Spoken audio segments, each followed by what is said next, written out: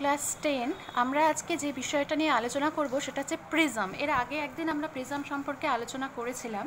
আজকে আরেকটু প্রিজম সম্পর্কে বিস্তারিত জেনে আমরা প্রিজমের মধ্যে আলোর প্রতিসরণ দেখব। তো আজকে প্রিজম একটা আমি চোখের সামনে নিয়ে এসেছি। দেখো, এখানে প্রিজম হচ্ছে কি একটা স্বচ্ছ প্রতিসারক মাধ্যম। কাঁচের তৈরি হতে পারে বা অন্য কোনো স্বচ্ছ মাধ্যমেরও এটা তৈরি হতে পারে। এবার এই প্রিজামের কতগুলো তল আছে, এটা একটু ভালো করে খেয়াল করো। এখানে প্রিজামের কিন্তু দেখো, দুটো ত্রিভুজাকার তল দেখতে পাচ্ছি। এই দেখো, এইখানে একটা তল রয়েছে, এটা একটি একটা ত্রিভুজাকার তল এবং ঠিক এর বিপরীত প্রান্তে এই এই জায়গাটা, দেখো, বিপরীত পার্শ্বে কিন্তু এখানেও একটা ত্রিভুজাকার তল রয়েছে, তার মানে দুটো ত্রিভুজাকার তল রয়েছে। এবার এর পাশের যে তলগুলোই দেখো, এই একটা, এটা একটা আয়তাকার তল, এইটা একটা আয়তাকার তল এইটা একটা আয়তাকার তল। তার মানে তিনটে আয়তাকার তল এবং দুটো ত্রিভুজাকার তল। এটা হচ্ছে প্রিজম। তাহলে টোটাল পাঁচটা তল। বোঝা গেল?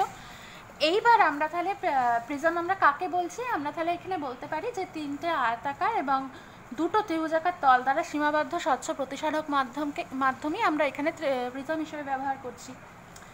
এবার ধরো যে একটা, এই যে আমি এইভাবে ধরো প্রিজমটাকে রেখেছি। এবার এইখানে এর পাশে যে একটা, আমি আয়তাকার তল ধরো নিচ্ছি, এই যে এই একটা তল আর এই একটা তল, ঠিক আছে? এবার এই একটা আয়তাকার তল দিয়ে আলোক রশ্মি প্রবেশ করে তার বিপরীত পার্শ্বের আয়তাকার তলটা দিয়ে নির্গত হতে পারে, ঠিক আছে? তাহলে সেক্ষেত্রে আমরা বলব যে এই দুটো তল কিন্তু হচ্ছে প্রিজমের প্রতিসারক তল। বোঝা গেল কথাটা যে এই তলটা দিয়ে হয়তো আলোকরশ্মি প্রবেশ করল, এবার এই তলটা দিয়ে নির্গত হয়ে গেল। তাহলে এই দুটো তলকে আমরা বলছি কি?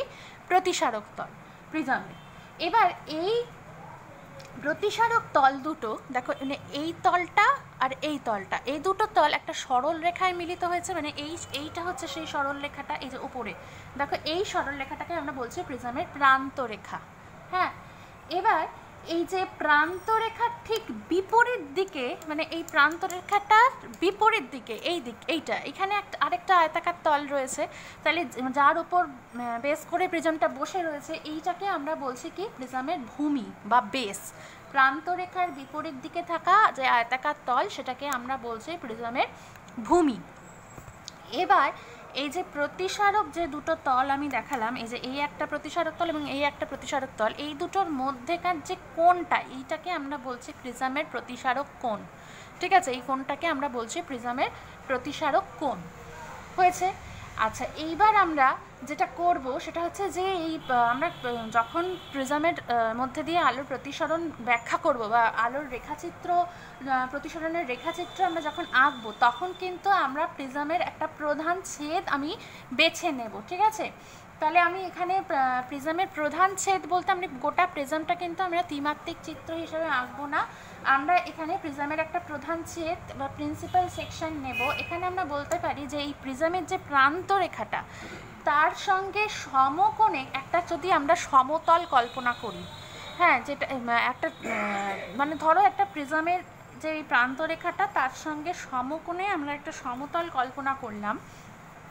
সেইটা সমত মানে এই প্রিজমটাকে সমতলে ছেদ করেছে মানে প্রিজমটার মাঝখান দিয়ে একটা তল আমি এই প্রান্তরেখার সঙ্গে লম্বভাবে আছে কল্পনা করলাম। তাহলে সেটা কি করবে? এই প্রিজমটাকে একটা ত্রিভুজাকৃতি সমতলে ছেদ করবে। তাহলে সেই ছেদটাকেই আমরা বলছি কিন্তু প্রধান ছেদ, প্রিজমের প্রধান ছেদ, ঠিক আছে? এইবার এই ব্যাপারগুলোকে আমরা মোটামুটি কোনটা প্রিজমের কোন অংশ সেটা আমরা দেখে নিলাম। এবার আমরা একটা প্রমাণ করব, সেটা হচ্ছে যে প্রিজমের মধ্যে দিয়ে আলোর প্রতিসরণের ক্ষেত্রে আলোর চ্যুতি আর তো প্রিজমের প্রতিসারক কোণ, তারপরে আপতন কোণ, প্রতিসরণ কোণ, এইগুলোর মধ্যে যে সম্পর্কটা কি, সেই জিনিসটা আমরা একটুখানি একটা গাণিতিক প্রমাণ আছে, সেইটা আমরা আলোচনা করব। আরেকটা কথা এখানে বলে রাখি যে প্রিজমের যে প্রতিসারক তল, এই দুটো তল কিন্তু মসৃণ হতেই হবে। মানে যে তলে আলো প্রবেশ করছে এবং যে তল যে তল দিয়ে আলো বেরিয়ে যাচ্ছে। এই দুটো তল কিন্তু মসৃণ হতেই হবে। বাকি তলগুলো অমসৃণ হতে পারে, কিন্তু এখানে যেমন এই প্রিজমটা সব তলগুলোই হচ্ছে মসৃণ, কিন্তু এখানে যে তলে আলো প্রবেশ করছে এবং যে তলে দিয়ে আলো নির্গত হচ্ছে, সেই দুটো তল মসৃণ হতেই হবে। আর প্রিজমের প্রতিসারক কোণের মানটা নির্ভর করছে যে আমি কি উদ্দেশ্যে প্রিজমটাকে ব্যবহার করছি তার উপর। এবার আমরা গাণিতিক প্রমাণটা দেখে নেব। এবারে আমরা প্রিজমের মধ্যে দিয়ে আলো কীভাবে প্রতিসরণ হয় বা প্রতিসরণ হলে চ্যুতিকোণ কীরকম হবে সেই ব্যাপারটা আমরা এবার দেখে নেব। আমরা প্রথমে একটা প্রিজমের প্রধান ছেদ নিচ্ছি। প্রিজমের প্রধান ছেদ যখন আঁকা হবে, আমরা তো জানি যে এটা ত্রিভুজ আকার হবে। এবার এটা আমরা সমবাহু ত্রিভুজই আঁকার চেষ্টা করব। তাহলে আমি সেই মতো একটা প্রিজমের প্রধান ছেদ আমি একটু বড় করেই আঁকার চেষ্টা করছি। মোটামুটি খাতার মাঝ বরাবর। একটা।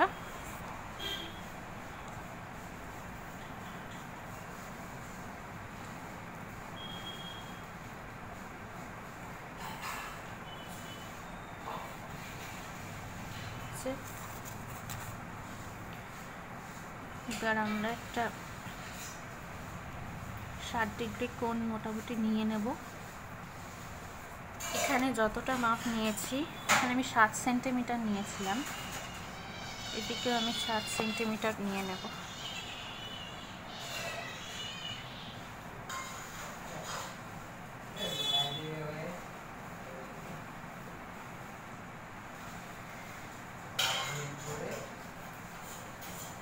একদিকে নিলে এবার এদিকটা হয়ে যাবে। জুড়ে দেবো এটার সাথে এটা। আচ্ছা। তাহলে আমি ধরে নিচ্ছি যে এ বি সি হলো প্রিজমটার প্রধান ছেদ, ঠিক আছে? এর মধ্যে আমি এ বি সি যে প্রিজমের প্রধান ছেদ, এবার আমি এখানে ধরে নিচ্ছি যে A B R A C হচ্ছে প্রতিসারক তল। এই তলটা আর এই তলটা, এটা হচ্ছে A B O A C হচ্ছে প্রতিসারক তল। প্রতিসারক তল। এ হচ্ছে প্রতিসারক তল দুটোর মধ্যেকার যে কোণ, তার মানে এটা প্রতিসারক কোণ। প্রতিসারক কোণ হচ্ছে এখানে এ, আর বিসি হচ্ছে ভূমি। বিসি ভূমি, ঠিক আছে? এইবার আমি যেটা করব, সেটা হচ্ছে একটা আলোক রশ্মি, এবার প্রিজমের এ বি প্রতিসারক তলে আপতিত হবে। তারপর প্রিজমের মধ্যে দিয়ে সেটা প্রতিষ্ঠিত হবে। আমি ধরে নিচ্ছি, এইভাবে একটা আলোক রশ্মি প্রিজমের এ বি প্রতিসারক তলে আপতিত হয়েছে। এরকমভাবে। ঠিক আছে? এবার আমি এইটা মনে করি পি কিউ আলোক রশ্মি প্রিজমটা আপতিত হলো এ বি প্রতিসারক তলে। এবার এই বিন্দুতে আমাকে কিউ বিন্দুতে অবিলম্ব এঁকে নিতে হবে। তাহলে আমি এটা অভিলম্ব এঁকে নেওয়ার চেষ্টা করছি। কিউ বিন্দুতে আমি না মানে লম্ব আঁকবো নাইনটি ডিগ্রি কোণ চাঁদার সাহায্যে আঁকলেই হবে। এটা হচ্ছে নাইনটি ডিগ্রি এই, এরকম। তাহলে এইভাবে আমার অভিলম্বটা এখানে থাকবে। কিউ বিন্দুতে অভিলম্বটা এইরকম হবে।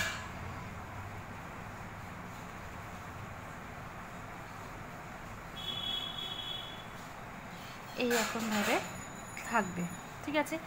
এইবার যখন এখানে পিকিউ রশ্মিটা আপতিত হলো, এবার প্রিজমে প্রতিষ্ঠিত হবে। তাহলে এখানে যেটা দেখা যাচ্ছে, বায়ু মাধ্যম থেকে কাচ মাধ্যমে প্রবেশ করছে রশ্মিটা, তার মানে লঘু থেকে ঘন মাধ্যমে। অর্থাৎ এটা কিন্তু প্রতিষ্ঠিত রশ্মিটা লঘু থেকে ঘন মাধ্যমে প্রবেশ করলে অবিলম্বের দিকে সরে আসে।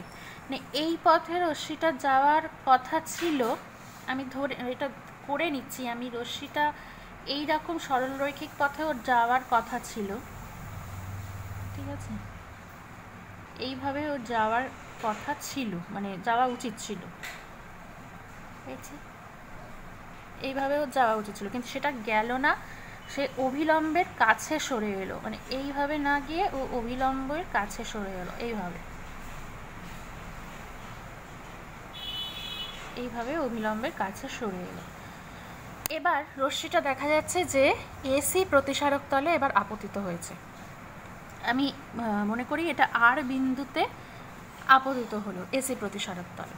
তাহলে আবার ওটার প্রতিসরণ হবে কারণ রশ্মিটা দেখো এবার কাচ মাধ্যম থেকে বায়ু মাধ্যমে প্রবেশ করছে, তার মানে ঘন থেকে লঘু মাধ্যমে প্রবেশ করছে। তাহলে আমি আর বিন্দুতে আগে অবিলম্ব এঁকে নিই।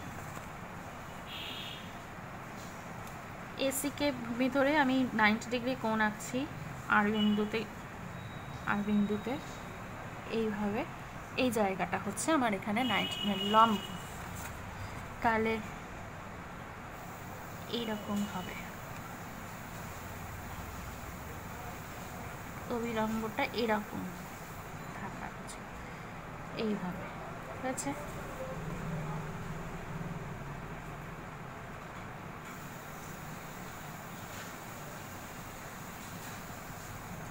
আচ্ছা এখানে আমি বলছি যে ঘন থেকে লঘু মাধ্যমে আলোক রশ্মিটা এবার প্রতিষ্ঠিত হচ্ছে। তাহলে ঘন থেকে লঘু মাধ্যমে আলোক রশ্মি গেলে কি হবে? এটা অবিলম্ব থেকে দূরের দিকে সরে যাবে। তার মানে রশ্মিটার এই রকম পথে যাওয়ার উচিত ছিল, সরল রৈখিক পথে। এইভাবে রশ্মিটার যাওয়া উচিত ছিল। কিন্তু সেটা না হয়ে কি হচ্ছে? অভিলম্ব থেকে আরও দূরের দিকে সরে যাচ্ছে। এইভাবে রশ্মিটা এইরকমভাবে মনে করি চলে গেল। এটা আর এস হচ্ছে প্রতিশ্রুত রশ্মিটা। তাহলে আমি এবার যেটা সব ব্যাপারটা বলে দিলাম, এইবার আমি কি করব? এখানে আমি এবার আপতন কোণ, প্রতিসরণ কোণ এই ব্যাপারগুলো ধরে নেব। দেখো এখানে কিউ বিন্দুতে আপত প্রতিসরণের ক্ষেত্রে আমি লিখছি এখানে যে কিউ বিন্দুতে প্রতিসরণের ক্ষেত্রে এখানে আপতন কোণ মানে আপতিত রশ্মি আর অবিলম্বের মধ্যেকার যে কোণ, এই যে কোণটা, এই কোণটা হচ্ছে কি? এই কোণটা হচ্ছে, আমি ধরে নিচ্ছি এই কোণটা হচ্ছে আই ওয়ান। এই কোণটা হচ্ছে আই ওয়ান মানে আটা আপতন কোণ। তাহলে এখানে কিউ বিন্দুতে প্রতিসরণের ক্ষেত্রে আপতন কোণ, অবিলম্বটার আমি একটা নাম দিয়ে দিচ্ছি। আমি এম এন অবিলম্ব দিচ্ছি, আর এদিকে অবিলম্বটা আমি দিয়ে দিচ্ছি এন এক্স এখানে রশ্মিটা মনে করি এইভাবে এই পথে যাওয়া উচিত ছিল। এখানে আমি ওয়াই নাম দিলাম, আর এইখানে আমি একটা কিছু নাম দিয়ে দিচ্ছি। আমি এটাকে মনে করে এক্স ওয়াই দিয়েছে তো জেড নাম দিয়ে দিলাম, ঠিক আছে? এটা নাম দিয়ে দিলাম। তাহলে এবার কিউ বিন্দুতে প্রতিসরণের ক্ষেত্রে এবার আপতন কোণ দেখা যাচ্ছে, এটা কি কোণ? অ্যাঙ্গেল পি ঠিক আছে, তাহলে এই কোণটা অ্যাঙ্গেল পি কিউ এম এটা হচ্ছে কত? আই ওয়ান হয়েছে? আচ্ছা প্রতিসরণ কোণ প্রতিসরণ কোণ কোন কোনটা এটা হচ্ছে অভিলম্ব আর প্রতিশ্রিত রশ্মির মধ্যেকার কোণ। তাহলে অভিলম্ব ছিল কোনটা এইটা হচ্ছে অভিলম্ব, আর প্রতিশ্রিত রশ্মি হচ্ছে এইটা। তাহলে এদের মধ্যেকার যে কোণ, সেটা হচ্ছে কি আর ওয়ান এই জায়গাটা। ঠিক আছে? এই কোণটা হচ্ছে আর ওয়ান তাহলে আমি এই প্রতিসরণ কোণ, এটা কি? অভিলম্ব আর প্রতিশ্রিত রশ্মির মধ্যে কোণ, তার মানে আর কিউ এন এই কোণটা। তাহলে প্রতিসরণ কোণ angle R Q N equal to আমি ধরে নিচ্ছি এখানে আর ওয়ান ঠিক আছে? এটা আমি লিখে নিয়েছি। আচ্ছা এইবার আমি চলে আসছি এখানে চ্যুতিকোণ চ্যুতিকোণটা কোনটা হবে? চ্যুতিকোণ হবে এখানে দেখা যাচ্ছে যে এই পথে ও রশ্মিটা যাওয়ার কথা ছিল, কিন্তু সেটা যায়নি, সে এই পথে গেছে। তাহলে চ্যুতিকোণ হচ্ছে কি এই কোণটা? এই কোণটা হচ্ছে চ্যুতিকোণ এই কোণটাকে আমি বলছি কি ডেল্টা ওয়ান নাম দিলাম। ঠিক আছে? তাহলে এই কিউ বিন্দুতে প্রতিসরণের ক্ষেত্রে এবার চ্যুতিকোণ হচ্ছে কোন কোনটা এই যে অ্যাঙ্গেল আর কিউ জেড, ঠিক আছে? Angle R Q Z equal to হচ্ছে কি? এখানে ডেল্টা ওয়ান, ঠিক আছে? আচ্ছা এবার এই চ্যুতিকোণটা কত তাহলে? চ্যুতিকোণের মানটা কত সেটা দেখা যাক। চ্যুতিকোণের মানটা আমি এখানে লিখতে পারি যে ডেল্টা ওয়ান ইকুয়াল টু দেখো এখানে এই কোণটা যদি আই ওয়ান হয় তাহলে এই কোণটাও আই ওয়ান এই গোটা কোনটা হচ্ছে আই ওয়ান কারণ এইটা কোণটা আর এই পুরো কোনটা এটা হচ্ছে কি পরস্পর বিপ্রতীপ কোণ। ঠিক আছে, তাহলে আমি এখানে ডেল্টা ওয়ানকে আমরা লিখতে পারি, দেখো I one minus R one বোঝা গেল? মানে এই কোণটা থেকে যদি এইটুকু বাদ দিই ক্লিয়ার হচ্ছে? আমি একটা অন্য কালির পেন দিয়ে আমি দেখাই।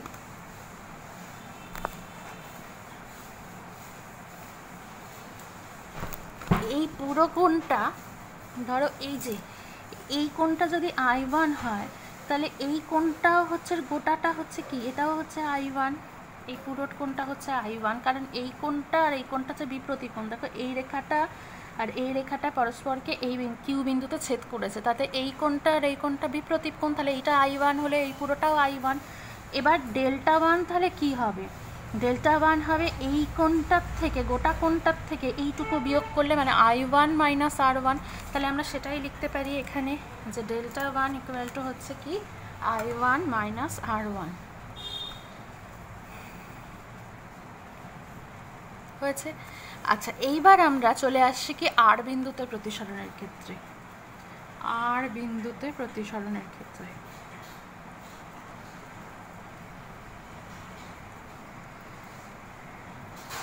এখানে দেখা যাচ্ছে যে আপতন কোণ হচ্ছে।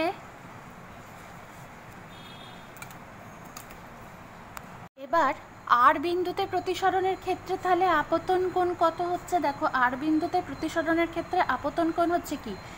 আর বিন্দুতে প্রতিসরণের ক্ষেত্রে এইটা হচ্ছে আপতিত রশ্মি কিউআরটা আর এইটা হচ্ছে অবিলম্ব এন এক্স হ্যাঁ? তাহলে এখানে আপতন কোণ যেটা, সেটা হচ্ছে এই কোণটা। এই কোণটা হচ্ছে আপতন কোণ। তো সেই কোণটাকে আমি ধরে নিচ্ছি হচ্ছে আর টু ঠিক আছে, এটা মাথায় রাখবে। দ্বিতীয় প্রতিসারক তলে কিন্তু আপতন কোণটাকে আমি আর টু ধরলাম, এটাই ধরতে হবে। অ্যাঙ্গেল কিউ আর এন এটা হচ্ছে আপতন কোণ। Angle Q R N equal to হচ্ছে আর টু ঠিক আছে? প্রতিসরণ কোণ যেটা, সেটা হচ্ছে কোনটা এবার প্রতিশ্রিত রশ্মি দেখো এই পথে গেছে। অভিলম্ব হচ্ছে এইটা। তাহলে প্রতিসরণ কোণ হচ্ছে এই কোণটা। এই কোণটার মান হচ্ছে কত? আই টু আমাকে ধরে নিতে হবে। আচ্ছা তাহলে প্রতিসরণ কোণ আমি ধরে নিচ্ছি। প্রতিসরণ কোণ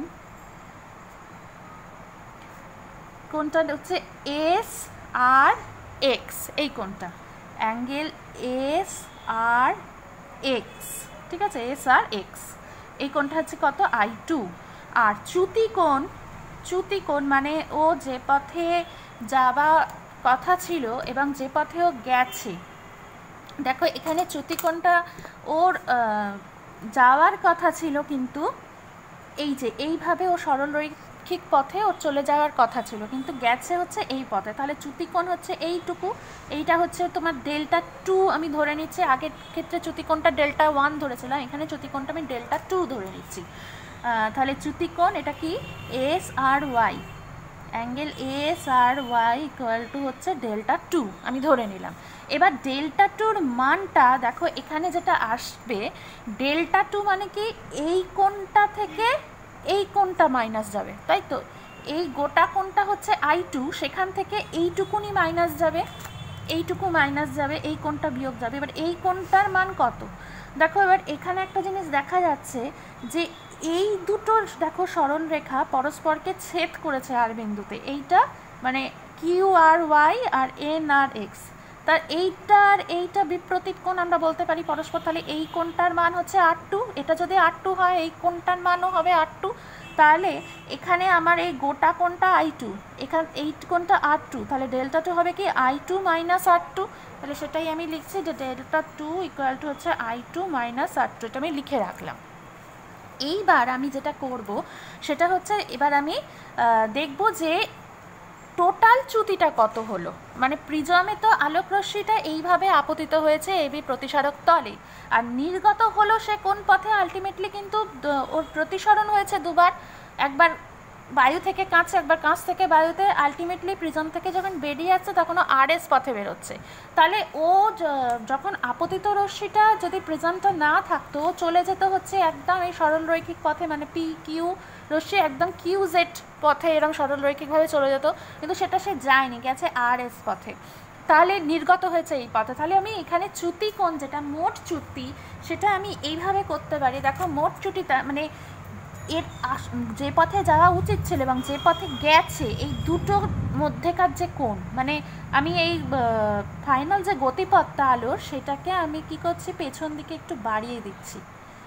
তাতে আমি বুঝে যাচ্ছি যে এইটা হচ্ছে এই দুটো মানে আলোকরশ্মির যে পথে যাওয়ার কথা ছিল এবং যে পথে গেছে, এই দুটো গতিপথের মধ্যেকার কোণ মানে ডেল্টা, এটাই হচ্ছে মোট চ্যুতি।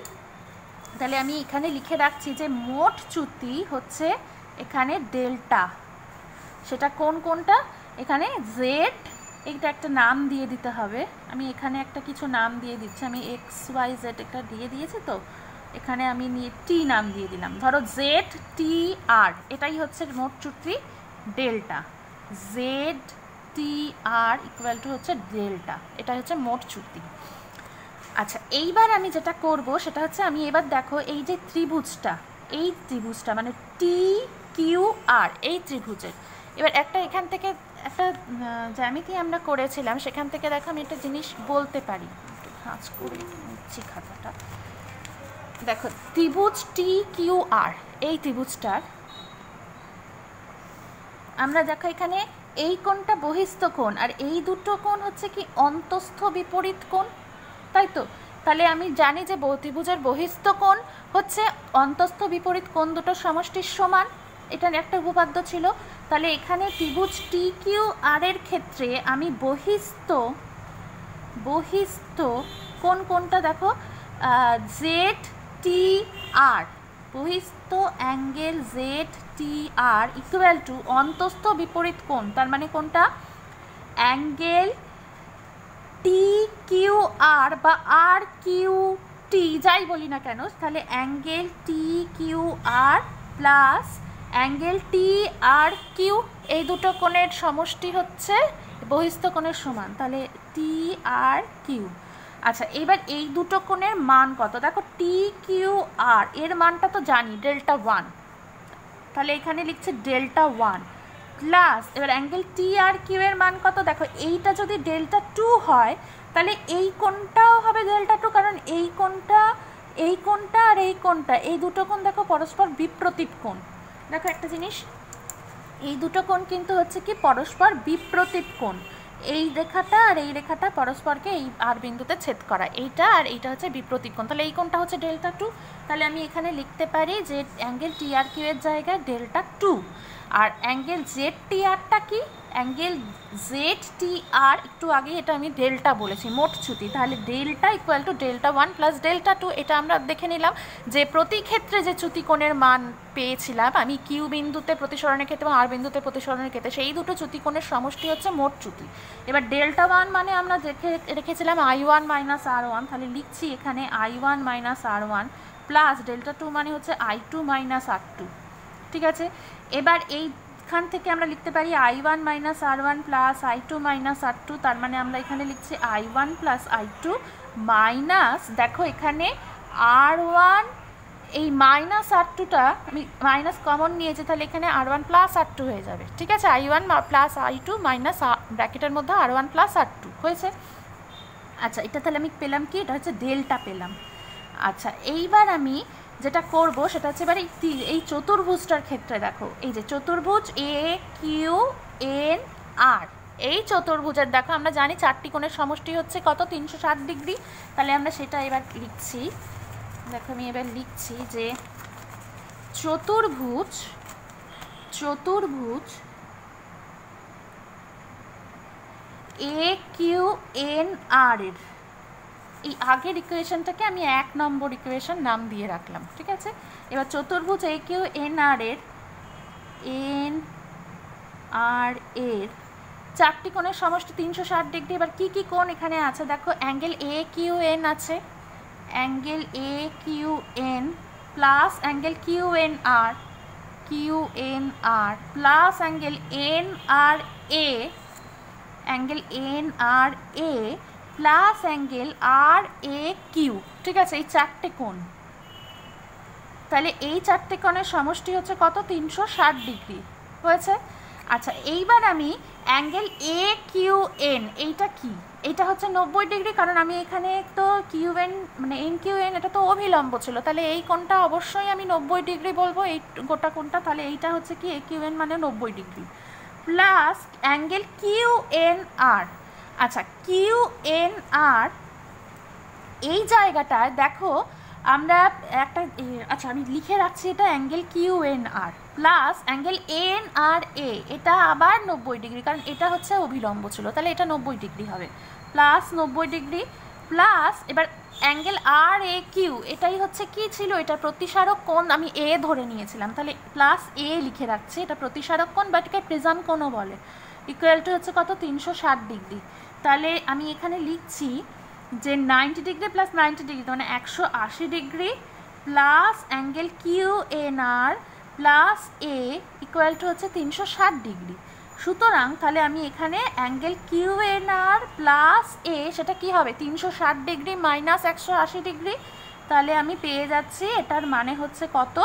এটার মানে আমি পেয়ে যাচ্ছি কত? একশো আশি ডিগ্রি এবার অ্যাঙ্গেল কিউ এন আরটা বার করা বাকি আছে। এবার কিউ এন আর মানে এই কোনটা? এটা আমি দেখো এই ত্রিভুজটা থেকে বার করতে পারব। এই যে এখানে আমি পাশে করে রাখছি যে ত্রিভুজ কিউ কিউ এন আর এর, কিউ এন আর এর।